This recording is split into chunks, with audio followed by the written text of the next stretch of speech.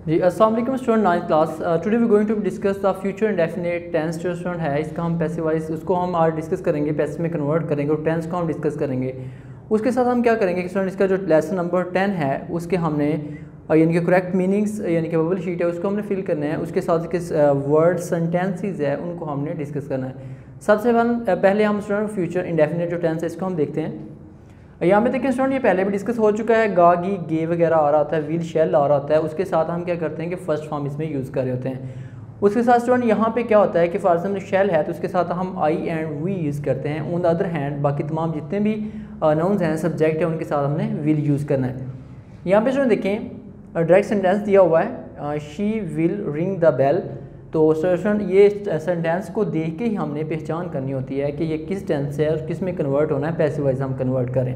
यहाँ पे देखिए स्टूडेंट विल है और इसके साथ फ़र्स्ट फॉर्म लगी हुई है, इसका मतलब ये है कि हमने फ्यूचर इंडेफिनेट जो है टेंस उसको हम कर रहे हैं उसको हमने कन्वर्ट करना है तो उसका स्टूडेंट निशानी ये होती है कि विल और शेल के साथ ने हमने क्या करना है कि बी का इजाफा कर देना है और उसके साथ हमने थर्ड फॉर्म यूज़ करनी है।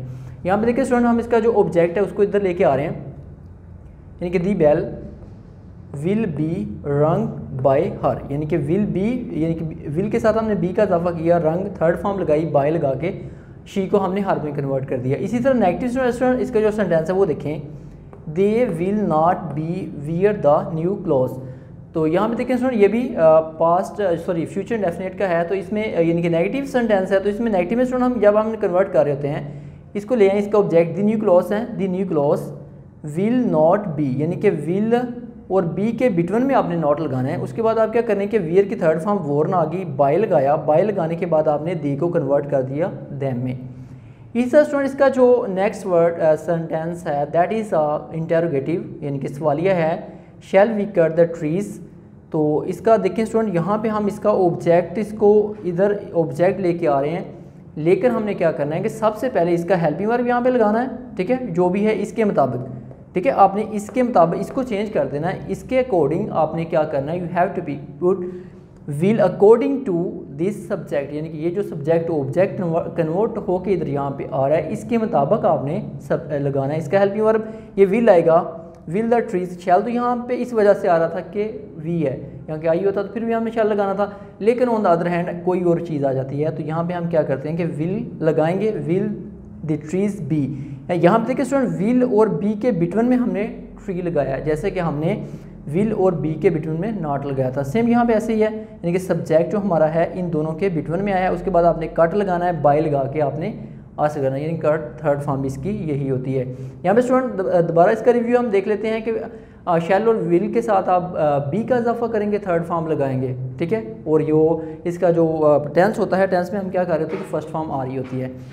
जी स्टूडेंट्स का one nine eight page number पे है ये। इसकी बबल शीट जो है choose the correct meaning of the underline word यहाँ पे देखें, पहला वर्ड उन्होंने दिया हुआ drug addiction is a common problem तो यहाँ पे एडिक्शन को स्टूडेंट हैबिट है, इसका जो सैनम सैनम है हैबिट राइट कस्टम या के सेल है तो यहाँ पे हम क्या, किस पे क्लिक करेंगे? हैबिट पे।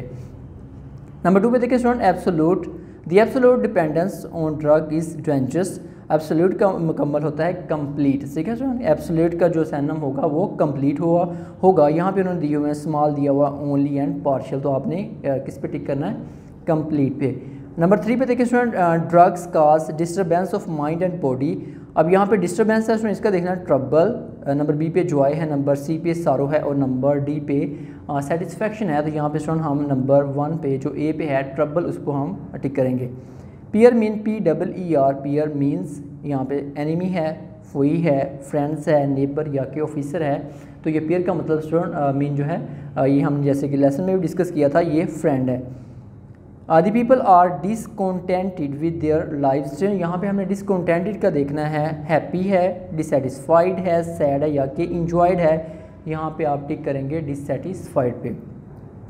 नेक्स्ट देखिए नंबर सिक्स पे student people resort to drug addiction यहाँ पे रिजोर्ट का स्टूडेंट देखना है रिकोर्स टू है हेट है लव है, या कि यूज़ टू है तो यहाँ पे रिकोर्स टू आएगा। नंबर सेवन पे देखें स्टूडेंट मैयर मीन मैयर का मतलब है प्लान स्टेप पॉलिसी या के डिवाइस है तो यहाँ पे स्टूडेंट मैयर का हम स्टेप पे क्लिक करेंगे। नंबर एट पे देखें स्टूडेंट रिहेबिलिटेशन मीन्स यहाँ पे सुन हैबिट है प्ले है, या कि गेम है, या कि रिस्टोरेशन है तो रिहेबिलिटेशन मीन रिस्टोरेशन यानी कि बहाली सेहत। यहाँ पे देखें स्टूडेंट भाली को कहते हैं restoration people consider it a taboo me to share their problem with others taboo का स्टूडेंट देखना है प्रोहिबिशन यानी कि वो ममनू समझते हैं, जैसा कि हमने लेसन में डिस्कस किया था. दे फील एम्बेरस्ड एम्बेरस्ड का स्टूडेंट देखना यहाँ पे नंबर ए पे गुड है नंबर बी पे बैड है नंबर सी पे डेंजरस है, और नंबर जो डी है, वहाँ पे शाई है. तो एम्बेरस का यहाँ पे शाई आएगा. जिसमें इसके जो सेंटेंस है, उसको हम देखेंगे। एडिक्शन लत को कहते हैं, आदत कहते हैं। Drug addiction is the curse यानी कि ड्रग एडिक्शन जो है, नशे की जो आदत है, नशे की जो लत है, वो एक लानत है। जी नंबर टू पे देखिए स्टूडेंट लॉन्ग टर्म तवील मुद्दी कहते हैं। We should seek a long term solution to energy crisis कहते हैं कि हमें जो तोानाई के बहरान का कोई जो मुतल यानी कि आप तवील तवीलमती जो हल है, इसका जो सोल्यूशन है, वो हमें तलाश करना चाहिए। सब्सटेंस जो किसी मादा को कहते हैं, मवाद को, जैसे कि heroin is a very harmful substance यानी कि जो हीरोइन है, वो वेरी हार्मफुल सब्सटेंस है। इन्वायरमेंटल स्टूडेंट माहौलियाती कहते हैं इन्वायरमेंटल पोल्यूशन हैज़ इंक्रीज माहौलियाती आलूदगी बढ़ गई है। इन्फ्लुएंस मुतासर करना complete sorry computer have influence our life computer ने हमारी ज़िंदगी को क्या किया है इन्फ्लुएंस किया है, मुतासर किया है। फॉल अ विक्टम का शिकार होना का शिकार होना do not fall a victim to a bad company या बैड हैबिट भी आप कह सकते हैं। डिससेटिस्फाइड गैर मुतम he is dissatisfied with his job यानी कि अपनी जॉब के साथ डिससेटिस्फाइड है। इन ऑर्डर टू के लिए he works hard in order to get good marks कहते हैं कि उसने गुड मार्क्स उसने अच्छे नंबर हासिल करने के लिए वो मेहनत करता है। मैयर इकदाम कहते हैं we should take measure to end terrorism terrorism को ख़त्म करने के लिए हमें क्या करना चाहिए? इकदाम करने चाहिए। गाइडेंस रहनमाई को कहते हैं seek guidance from your teacher अपने कहते हैं कि इस जो हैं, उनसे रहनमाई हासिल करें। इलिमिनेट का स्टूडेंट मतलब पता है, ख़त्म करना। We should eliminate our social evil जो है हमें माशरती बीमारियों माशरती बुराइयों का ख़ात्मा करना चाहिए। वो वादा करना ही वो टू हेल्प मी उसे मेरी मदद करने का वादा किया। अवेयर का स्टूडेंट मतलब से बाखबर he is not aware of his weakness वो अपनी कमज़ोरियों से बेखबर नहीं।